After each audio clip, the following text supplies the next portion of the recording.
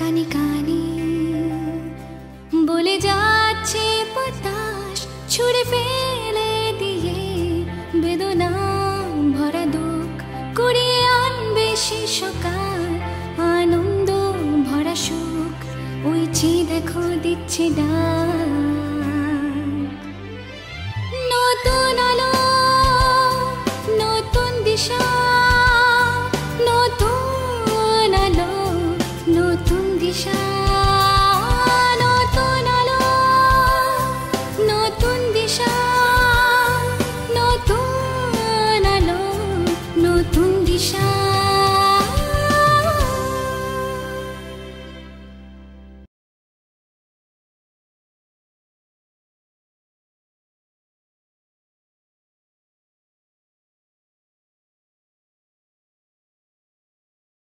নমস্কার নতুন আলো নতুন দিশা এই বিশেষ অনুষ্ঠানে আপনাদের সকলকে আরও একবার অনেক অনেক স্বাগত বন্ধুরা। আমরা আমাদের শেষ পর্বে মন কীভাবে আমাদের সুস্থ তথা অসুস্থ করে তোলে সেই বিষয় নিয়ে আলোচনা করছিলাম। আজকেও আমরা সেই আলোচনা পর্বকে আরও এগিয়ে নিয়ে যাব এবং আমাদের সাথে কথা বলার জন্য যিনি উপস্থিত রয়েছেন স্টুডিওতে তিনি আমাদের সকলে পরিচিত ব্রহ্মাকুমার রোশনি ভাই। তাকে একবার স্বাগত করব। নমস্কার রোশনি ভাই। ওম শান্তি। ওম শান্তি। রোশনি ভাই আমরা গত পর্বে যে বিষয়টি নিয়ে আলোচনা করছিলাম সেটি হচ্ছে মনই আমাদের সুস্থ করে, আবার মনই আমাদের অসুস্থও করে। তো এটা তো বুঝতেই পারি, মন যখন দুর্বল থাকে, মনের মধ্যে অনেক রকমের দুশ্চিন্তা, ব্যর্থ চিন্তা আমাদের বাসা বাঁধে, দানা বাঁধে। তো ধীরে ধীরে আমরা মনকে দুর্বল করে তুলি বা মন অসুস্থ হয়ে পড়ে এবং তার প্রভাব আমাদের শরীরের উপরেও পড়ে। শারীরিকভাবে আমরা ধীরে ধীরে দুর্বলতা অনুভব করি মনের অসুস্থতার জন্য। তো সেখান থেকে বেরোনোর জন্য আপনি বলেন মনকে খুশিতে রাখতে হবে। এছাড়াও যা কিছু আমাদের সাথে ঘটছে, আমরা চেষ্টা করব মানুষের থেকে বেশি এক্সপেকটেশন না রেখে মানুষকে দিয়ে যাওয়া। অর্থাৎ যেটা আপনি বলছিলেন যে, আমি যদি কাউকে ভালোবাসা দিই রিটার্নে ভালোবাসা পাবো বা যদি তাকে ঘৃণা দিই, তাকে ঘৃণাই পাবো। তো চেষ্টা করতে হবে ভালোবাসা দেওয়ার। কেন না সেখান থেকে রিটার্ন আমি যেটা দেবো, সেটার রিটার্ন হিসেবে আমাকে, সেটাই পেতে হবে। এটা তো আমার নিজের কন্ট্রোলিং পাওয়ারের মধ্যে রয়েছে যে আমি কতটা সেই স্থিতিতে মেনটেন থাকতে পারব। এছাড়াও যদি বাইরে থেকে কোনো রকম পরিস্থিতি আসে কিছু অঘটন ঘটে গেল যেটা আমাদের এক্সপেকটেশনের টোটালি বাইরে, তো সেটা ঘটে গেলেও আমাদের মনে করতে হবে যা ঘটছে ভালোর জন্যই ঘটছে বা তখন ভগবানের সত্যিকারের শরণাপন্ন হতে হবে এবং ভগবানকে সাথী বানিয়ে সে মনের জোরকে বাড়িয়ে তুলতে হবে এবং মনকে দুর্বল হওয়ার থেকে বাঁচাতে হবে। কিন্তু ভগবানের শরণাপন্ন আমরা কীভাবে হব? মানে সত্যি কথা বলতে এখন ঈশ্বরের কে পেতে গেলে তো অনেক রকম পন্থা আছে অনেক বিভিন্ন ধর্মর দিকটা যদি আমি ধরি, বিভিন্ন ধর্মে বিভিন্ন মানুষ বিভিন্নভাবে তাকে স্মরণ করে থাকেন। কিন্তু অনেক সময় তাকে আমরা মন থেকে ডেকেও হয়তো কোনো জবাব পেলাম না। তো আসলে কি আমাদের ডাক ভগবান পর্যন্ত গিয়ে পৌঁছচ্ছে না? বা তিনি কি আমাদের সাহায্য করতে চাইছেন না? আসলে সত্যিটা কি? ব্যাপার হয়েছে ভগবানের কাছে পৌঁছতে গেলে আমার কানেকশনটা তো ঠিক থাকতে হবে।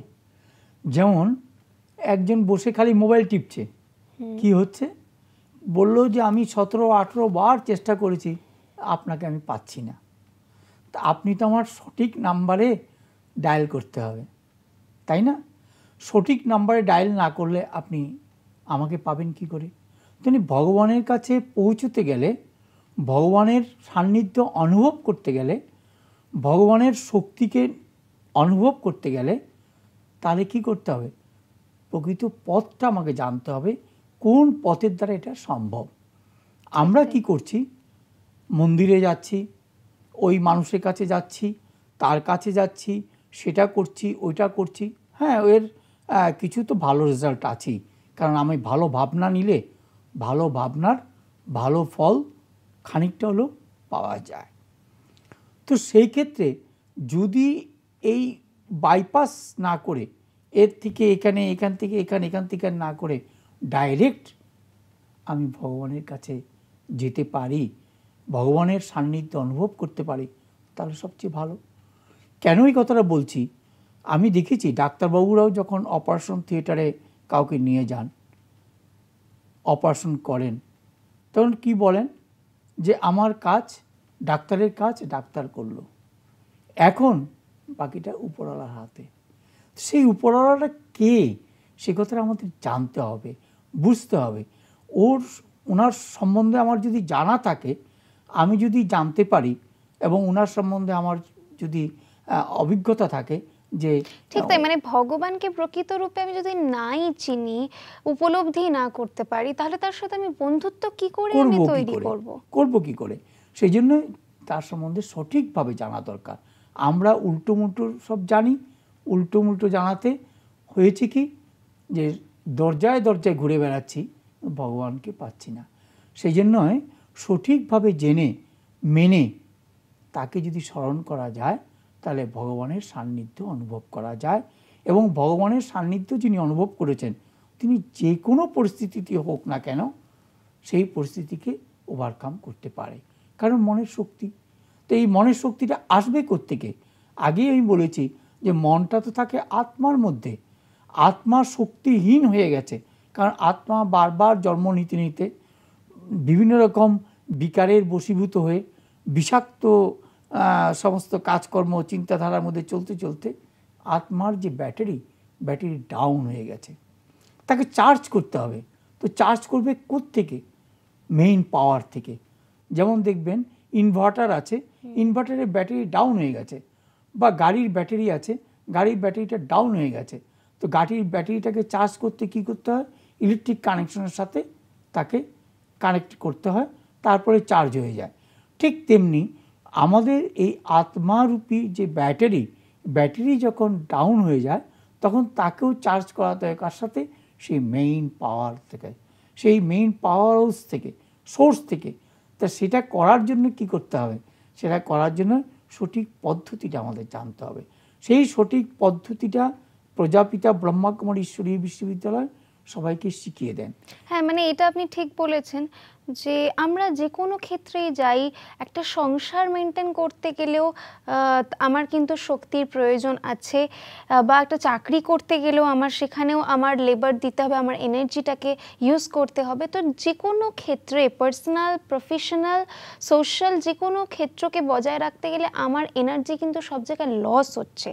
কারণ আমার এনার্জিটা দিয়ে সেখানে আমি হার্ডওয়ার্ক করে তবে সেখান থেকে কোনো একটা রেজাল্ট পাচ্ছি। মানে এখানে কিন্তু কোনো জায়গা থেকে আমাদের এনার্জিটা কিন্তু রিচার্জড হচ্ছে না। তো অবশ্যই আমাদের সেই রিচার্জার যে, যিনি আছেন, তো মানে যিনি ইলেকট্রিসিটি যেখান থেকে আত্মার ব্যাটারি বা মনের ব্যাটারি চার্জড হবে, তো তার সাথে তো আমার কানেকশনটা তৈরি করতেই হবে। করতেই হবে। সেই জন্য বলা আমার যে, মনকে যখনই মন দুর্বল হচ্ছে যখনই মন ক্লান্ত বোধ করছে, তখন একটু রিল্যাক্স করে নাও। রিল্যাক্সেশনটা জিনিসটা কি? কিচ্ছু না। দু মিনিট বা তিন মিনিট মনকে একাগ্র করে সেই ঈশ্বরের প্রতি লাগাও। কেন? কারণ যখন এই মানুষের প্রতি মনটাকে লাগাই, তখন মানুষের ভালো জিনিসটাও আমার কাছে আসে, খারাপ ভাইব্রেশনটাও আমার কাছে আসে। দেবী দেবতার মন্দিরে যখন আমরা যাই তখন সেখানেও সেই একই জিনিস সেখানে আমরা ভালোটাও দেখি আবার খারাপটাও দেখি। অর্থাৎ সব জায়গাতে এই জিনিসগুলি আছে। কিন্তু যখন আমি ভগবান বা ঈশ্বর বা পরম পিতা পরমাত্মার কথা ভাবলাম তখন তার মধ্যে আর কিন্তু কিছু নেই। কোনো মন্দির নেই কোনো পার্সন নেই কোনো পান- পান্ডা নেই পূজারি নেই কেউ নেই। কে আছে? আমি আর সেই পরম পিতা, পরমাত্মা বা ঈশ্বর বা ভগবান। তাকে যে নামেই ডাকা হোক না কেন, যদি আমি এই কথাটা ভাবি যে তিনি আমার সাথে আছেন, তাহলেও কিন্তু আমরা অনেক কিছু ওভারকাম করতে পারি। কিন্তু ভাবলে যে সবসময় সেটা সত্যি হবে, এরম তো কোনো গ্যারেন্টি নেই। মানে যখন বিপদে আমরা পড়ি, তখন হয়তো আমার কোনো প্রিয়জনকে, আমার আত্মীয় পরিজন কাউকে ফোন করলাম, সে হয়তো হেল্প করার জন্য চলেও এলো। কিন্তু এমন এমন পরিস্থিতি আসে যেখানে সে পৌঁছতে পারছে না। তখন যে ভগবানই আমাকে হেল্প করবেন, এর কি কোনো গ্যারেন্টি আছে? গ্যারান্টি হলো মনের বিশ্বাস। একটা জিনিস কি? বিশ্বাস দিয়েই তো এই সংসারটা। এই পৃথিবীটা চলছেই তো একটা বিশ্বাস দিয়ে। বিশ্বাস দিয়ে চলছে না। কেউ কাউকে যদি বিশ্বাস না করে, তাহলে চলবে কি করে? অফিসের বস তার কর্মচারীকে বিশ্বাস করবে না। স্বামী তার স্ত্রীকে বিশ্বাস করবে না। বাবা তার ছেলেকে বিশ্বাস করবে না। তাহলে কি হবে? এটা তো নরকখানা হয়ে যাবে। এখনও পর্যন্ত এই যে ঈশ্বরের প্রতি বিশ্বাস আছে বলেই কিছুটা ভালো আমরা দেখতে পাচ্ছি। তাহলে ভালো দেখা যেত না। এই এই বিশ্বাস থাকা সত্ত্বেও কেউ না কেউ কাউকে না কাউকে কিছু না কিছু লোককে বিশ্বাস করে। মানে দেখা গেছে পৃথিবীর প্রায় সব দেশে নাইনটি নাইন পার্সেন্ট পিপল যারা কেউ না কেউ কোনো ধর্ম বা কোনো ঈশ্বরের অন্য নামে বিশ্বাস করে। তারপরেও আজকে এত হানাহানি এত কাটাকাটি এত খুন এত রক্ত এত ধর্ষণ এত মানে ব্যবিচারিতা সব আমরা দেখতে পাচ্ছি। কারণটা কি? কারণ হলো ওই একটা সেটা হলো এই যে আমরা সঠিক জায়গাতে যেতে পারিনি। যদি সঠিক জায়গাতে যাওয়া যায় সঠিকভাবে সঠিক লোককে অর্থাৎ সেই পরম পিতা পরমাত্মাকে স্মরণ করা যায় তাহলে কি হবে? অ্যাটলিস্ট আমি আমার এটা দৃঢ় বিশ্বাস যে যে সময় যে পরিস্থিতি সৃষ্টি হবে, সেই সময় সেই পরিস্থিতিতে উনি কাউকে না কাউকে দিয়ে আমাকে সাহায্য করবেনই। এবং যদি আজকে আমরা সবাই এই পৃথিবীর যত লোক আছে, ওই একজনকেই চিনতাম, ওই একজনকেই যদি ভালোবাসতে পারতাম, ওই একজনকেই ধরে রাখতে পারতাম, তাহলে যুদ্ধ থাকতো। কারণ কি? আমরা সব এক ঈশ্বরের সন্তান। সবাই আমরা ভাই ভাই, যুদ্ধ কার জন্য করছি? আজকে যত যুদ্ধ বা এই অশান্তি হচ্ছে তার মূলে কি? দেহ। দেহ সম্বন্ধ। ধর্ম দেহের। চরিত্র দেহের। স্বভাব দেহের। বিভিন্ন রকম আমরা যে কাজকর্ম করছি সব দেহের জন্য। এই যে দেহের জন্য চলছে, তার জন্য আজকে এই অবস্থা। যেই মুহূর্তে আমি ভাববো আমি আত্মা এবং আমি পরমাত্মার সন্তান, আমরা সবাই এক পরিবার, এক ঈশ্বরীয় পরিবার আপনি দেখবেন প্রজাপিতা ব্রহ্মাকুমার ঈশ্বরীয় বিশ্ববিদ্যালয়ে লক্ষ লক্ষ ভাই বোন আছে। বিভিন্ন ধর্মাশ্রয়ী ভাই বোনও আছে। কই কোথাও তো বিভেদ নেই কোথাও তো ডিভিশন নেই কেন নেই? কারণ সবাই জানে সেই এক পরম পিতা পরমাত্মাই আমার পিতা। আমরা সব ভাই ভাই। তো এই ভাবনাটা যখনই আসবে তখন দুর্ভিক্ষ থাকবে না। কারণ আমি আমার খাবারটা নষ্ট করছি প্রচুর আছে আমার আমি নষ্ট করছি। আরেক জায়গার লোক খেতে পাচ্ছে না। তখন আমি কি ভাববো? আমার ভাইকে আমার খাবারটা দিয়ে দিই। আবার দেখা যাবে কি যে যুদ্ধ করছি কার জন্য? কার বিরুদ্ধে যুদ্ধ করছি? ভাই ভাইয়ের বিরুদ্ধে যুদ্ধ করছে। না, যুদ্ধ করা উচিত নয়। সঙ্গে সঙ্গে যুদ্ধ বন্ধ হয়ে যাবে, অস্ত্র ব্যবসা বন্ধ হয়ে যাবে, দুর্ভিক্ষ বন্ধ হয়ে যাবে, চারিদিকে শান্তির বাতাবরণ সৃষ্টি হবে। যেখানে শান্তি আছে, যেখানে আনন্দ আছে, যেখানে সুখ আছে, সেখানে তো আর কিছু দরকার লাগে না। সেই জন্য আমরা বলি যে যেখানে শান্তি, সেখানেই সুখ, সেখানেই আনন্দ। অর্থাৎ শান্তি থাকলেই সুখ এবং আনন্দ থাকা যায়। সেই জন্য মনটাকে শান্তিতে রাখার দরকার। চেষ্টা করতে হবে। পারা যাবে না এমন কোনো কথা নেই। কারণ ইম্পসিবল কথাটা কোনো দিনও মানুষের ডিকশনারিতে থাকতে পারে না। এটা মূর্খের ডিকশনারিতে থাকতে পারে। মানুষের ডিকশনারিতে থাকতে পারে না। ইম্পসিবল বলে কোনো কথা নেই। সব এটা তো ঠিক ইম্পসিবল সেটা যেটা আমি করতে চাই না আমি তখন জোর করে হয়তো সেটাকে ইম্পসিবল করতে চাই বা যেটাকে আমি করতে চাই সেটাকে যদি একবার ডিটারমিনেশন করে নিই দৃঢ় সংকল্প যে আমায় করতেই হবে তো সেটা হয়তো তখন আমার জন্য ইম্পসিবল মনে হয় না। সেটা মানুষের নিজের ইচ্ছার উপর অনেকটা ডিপেন্ড করে। কিন্তু বিষয়টা হচ্ছে যে ভগবানের সাথে আমি রিলেশনটা তৈরি করার বেস যেটা সেটা হয়তো যে বিশ্বাস যেটা আপনি বলছেন। ঈশ্বরের প্রতি রিলেশন বিল্ড আপ করার বেসটা ফাউন্ডেশনটি হচ্ছে বিশ্বাস করা তার বিশ্বাস। বিশ্বাস ছাড়া কোনোটাই সম্ভব না আমি ডাক্তার কাছে গেলাম। কিসের বিসিসে যে ডাক্তারবাবু আমাকে ভালো করবে বিশ্বাস? বিশ্বাস কিনা বলুন? যে স্কুলে ভর্তি হলো ছেলে কি? কিসের বিসিসে এই স্কুলে ভর্তি করলেন এত টাকা খরচা করে? বিশ্বাস। কারণ এই স্কুলে পড়লে আমার ছেলে ভালো রেজাল্ট করবে। ঠিক কিনা বলুন? তেমনি বাজারে গেলে আপনি যখন কোনো দোকানদারের কাছ থেকে জিনিস কিনছেন তখন দেখা যায় আপনাকে যদি জিজ্ঞাসা করা হয় কেন এই দোকান থেকেই সবসময় কিনছেন? কারণ বিশ্বাস ও কোনোদিনও ঠকাবে না। কিন্তু কোনো কোনো সময় তো এমন ঘটনা ঘটে যায় যেখানে ঈশ্বরকে ডেকেও কোনো ফল পাই না তার কারণ কি? ঈশ্বরকে ডেকে ফল পাই না তার কারণ হলো আমার ডাকাটা ঠিকমতো পৌঁছয় না। আচ্ছা। আমার মনের হ্যাঁ যেটা আপনি বললেন যে আমি কাউকে ডায়াল করছি ফোনে মানে আসল নাম্বারটা না টিপে আমি উল্টো পাল্টা নাম্বার টিপছি। সেই জন্য আসল ব্যক্তি পর্যন্ত আমার মেসেজটা পৌঁছচ্ছে না কলটা গিয়ে পৌঁছচ্ছে না যার জন্য সেখান থেকে রিপ্লাই আসছে না। সেজন্য আমাদের সঠিক ওয়েটাকেও পদ্ধতিটাকে জানতে হবে যে কি পদ্ধতিতে তার সাথে কানেকশন রাখতে হবে। এবং এই কানেকশন রাখলে পরে যদি সব কিছু সত্য হয় পরমাত্মাও যদি সত্য হয় আত্মা যদি সত্য হয় তাহলে এটাও সত্য হবে যে ওনার সাথে লিংক করার পর ওনার কাছ থেকে আমার শক্তি পাওয়া যাবে। সেই শক্তি কি করবে? সেই শক্তি মূলত আমার মনকে যেমন শক্তিশালী করে আত্মাকে শক্তিশালী করা মানে মনকে শক্তিশালী করা। আর মন শক্তিশালী হওয়া মানে আমি যে কোনো পরিস্থিতিকে আমি ওভারকাম করতে পারি। কেউ মারা গেল সন্তান মারা গেল। সন্তানটা কার? আমি নিয়ে এসেছি। পৃথিবীতে যখন আমি এসেছিলাম আমি সন্তানটা নিয়ে এসেছিলাম। স্বামী নিয়ে এসেছিলাম। কাউকে তো আমি নিয়ে আসিনি। তাহলে আমি যাওয়ার সময়ও কাউকে নিয়ে যাব না। অর্থাৎ যার যতটুকু পার্ট আমার সাথে ছিল সেই পার্টটা শেষ হয়ে গেছে অতএব চলে গেছে। দুঃখ করার কিছু নেই। কারণ আমরা দুঃখ তখনই পাই আমরা কষ্ট তখনই পাই আমরা যন্ত্রণা তখনই পাই যখন আমরা শরীরের কথা ভাবি। ক্লিয়ার হয়েছে কথাটা?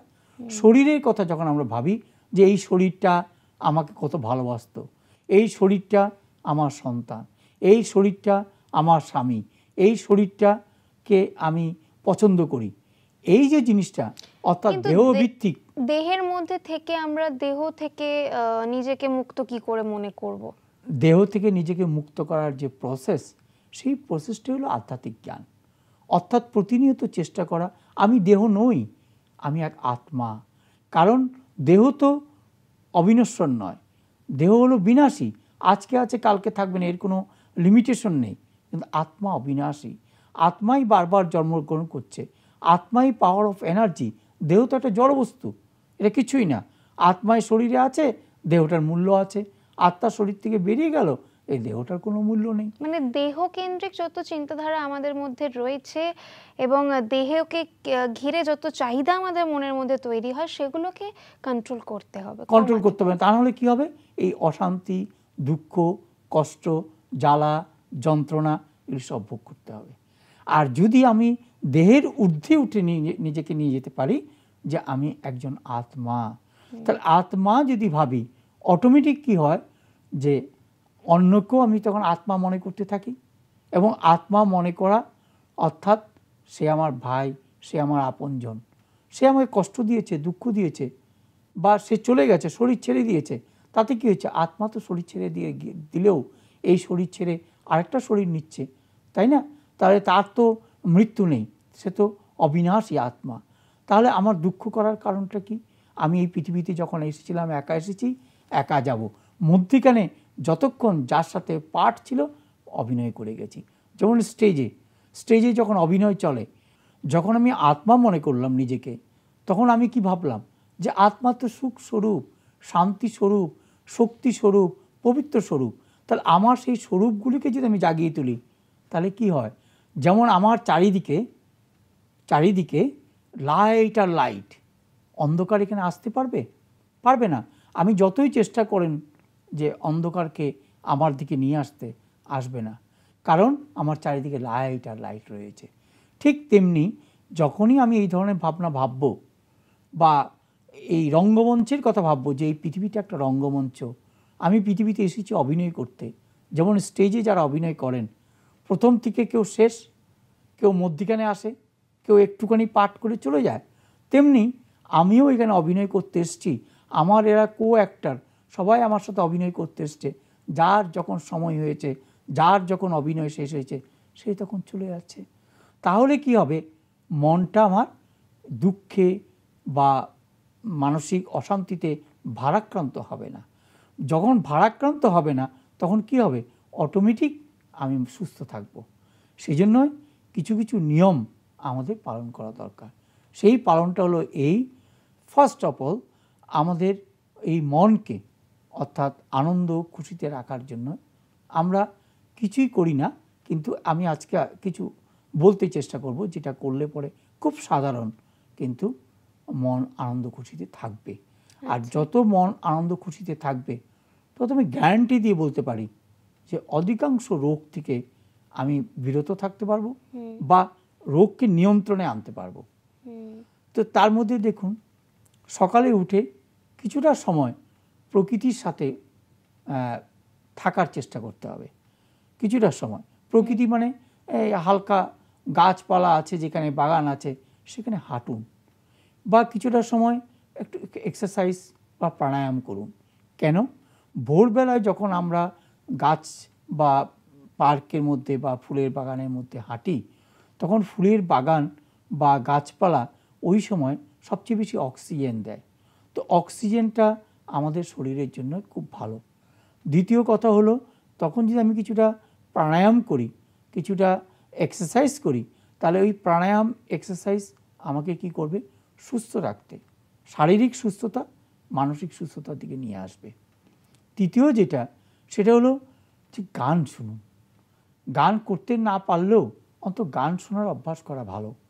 যেমন আমি দেখেছি প্রজাপিতা ব্রহ্মাকুমারী ঈশ্বরীয় বিশ্ববিদ্যালয়ে এসে এখানে এমন কিছু গান রচিত হয়েছে যখন মন খারাপ লাগে ওই গানগুলি বাজিয়ে দিলে তখন সঙ্গে সঙ্গে মনটা আনন্দে ভরে যায়। তা এই যে আনন্দে ভরে গেল এর চাবিটা কি? একটা গান। সেই জন্য গান শোনা ভালো। কিন্তু অনেকে কি করে এই গান শোনার নাম করে কানের মধ্যে ওই যে যন্ত্র লাগিয়ে গান শোনে তা ঠিক নয়। গানটা হ্যাঁ। তাহলে কি হলে গানটাকে যদি আমি ওপেনলি শুনি এই গান শোনাতে গানের যে ভাইব্রেশন সেটা আমার শরীর মনকে কাজ করবে। এর সাথে কি আছে? যে যে কোনো ক্রিয়েটিভ ওয়ার্ক যেমন একটা আমি ফুল গাছে লাগালাম ফুল গাছে ফুল ফুটলে মনটা কত আনন্দ হয়। আনন্দ হয় না? তারপরে একটা আর্ট করলাম সে আর্টটা যদি সুন্দর হয় যেমনই হোক আমার মনটা কিন্তু খুশিতে ভরে যায়। অর্থাৎ মনকে খুশিতে রাখার জন্য আনন্দে রাখার জন্য আমার সবসময় এই প্রয়াসগুলি নিতে হবে যে আমার যেন মনটা মানে ছোট ছোট টিপসকে কাজে লাগিয়ে বড় বড় খুশির প্রাপ্তি করা। হ্যাঁ মেয়েরা যেমন ইয়ে দেখে ওই যে টিভিতে দেখে একটা রান্না করল রেসিপি তৈরি করল। সবাই বলল খেয়ে খুব ভালো লেগেছে। আনন্দে মনটা ভরে যায়। ভরে যায় না মনটা আনন্দে? এই যে আনন্দে মনটা ভরে গেল এটাও কিন্তু এই আনন্দে ভরার জন্য আমার যেমন মন ভালো থাকল তেমনি সাথে সাথে আমাকে উৎসাহিত করল আবার অন্য একটা রেসিপি করার জন্য। মানে এনথুজিয়াস্টিক কিছু ওয়ার্কস আমাদের কিছু স্টেপস আমাদেরকে নিতে হবে নিজেদেরকে খুশি রাখার খুশিতে জন্য। রাখার জন্য। এর সাথে হলো কি বাগানে গেলে বা যেখানেই যান প্রকৃতির সাথে বসে কিছুটা সময় যদি মেডিটেশন করা যায় প্রকৃতি কি করে? সব সময় দেওয়ার টেন্ডেন্সি প্রকৃতির। প্রকৃতি হলো দাতা। প্রকৃতি দেয় কিছু চায় না। কিন্তু আমরা কি করি? প্রকৃতির থেকে নিই আর প্রকৃতিকে কিছু দিই না। আমরা ফুল নিচ্ছি ফল নিচ্ছি গাছ কাটছি প্রকৃতির কিছু নিচ্ছি না। তার জন্য প্রকৃতির যে একটা ভাইব্রেশন নেগেটিভ ভাইব্রেশন সেটাও কিন্তু আমাদের মনকে দুর্বল করে দেয় মনের ক্ষতি করে। সেই জন্য প্রকৃতির মধ্যে গিয়ে অর্থাৎ বাগানে গিয়ে বা কোনো গাছের নিচে গিয়ে বা এরকম জায়গাতে যেখানে যা থাকে সেখানে বসে খানিকটা সময় যদি আমি যোগদান দিই প্রকৃতিকে মেডিটেশন করি। যোগদান মিন্স মেডিটেশন করতে করতে সুভাবনার দান দেওয়া। যে প্রকৃতি তুমি ফলে ফুলে ভরপুর হয়ে যাও তুমি সবাইকে সুখ দিচ্ছ আরও সুখ দাও। এতে নিজের মনটা যেমন ভালো হয় তখন প্রকৃতির থেকে যে ভাইব্রেশন পাওয়া যায় সেই ভাইব্রেশনটাও মনকে সুস্থ রাখতে সাহায্য করে। প্রকৃতির সাথে গিয়ে যদি আমি মেডিটেশন করতে করতে যোগদান দিই যোগদান মানে সুভাবনার দান। যে প্রকৃতি তুমি কত সুন্দর কত ভালো কত আমাদের সুখ দিচ্ছ হ্যাঁ? তুমি ফলীভূত হয়ে মানে তুমি আমাকে আরও আমাকে আরও সুখ দাও। এই যে ভাবনা এই ভাবনাতেও মন কিন্তু ভালো হয়ে যায়। ঠিক তাই। হয়তো সেটা আমরা প্রয়োগ করলে প্র্যাকটিক্যালে তার ফলটা আমরা বুঝতে পারব যে আসলে বাস্তবে সেটা হচ্ছে কি হচ্ছে না। তো আমরা আশা রাখলাম যে নিশ্চয়ই এই ধরনের টিপসগুলোকে আমরা কাজে লাগিয়ে সুস্থ থাকার চেষ্টা করব। কিন্তু আজকে আমরা আমাদের আলোচনা পর্ব এখানেই শেষ করছি কারণ হাতে একদম সময় নেই। আবার এই ধরনের কিছু বিষয় নিয়ে আমরা আপনার সাথে কথা বলব কিন্তু আগামী পর্বে। তাই আজকের জন্য অনেক অনেক ধন্যবাদ আপনাকে। ওম শান্তি। ওম শান্তি। দর্শক বন্ধুরা, এইভাবে ভালো থাকার নতুন নতুন টিপস আমরা আপনাদের সামনে তুলে ধরছি, যার প্রয়োগের মাধ্যমে আমরা আমাদের জীবনকে খুব সুন্দর করে গড়ে তুলতে পারি। তাই আপনারা দেখতে ভুলবেন না, আমাদের বিশেষ অনুষ্ঠান নতুন আলো, নতুন দিশা। আজকে আমাদের দিন অনুমতি। নমস্কার।